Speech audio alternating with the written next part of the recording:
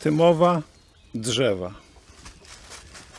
Nie wszystkie drzewa chciały ze mną wyjeżdżać. Mówiły, ktoś musi pilnować domu i podtrzymywać śpiew ptaków. A jednak tęskniły. Nocami próbowały się do mnie zbliżyć. Podpełzały korzeniami, wyciągały czułe gałęzie, pragnęły otoczyć mnie opieką. Ale to był zbyt powolny marsz bo odchodziłem zbyt szybko, zbyt daleko.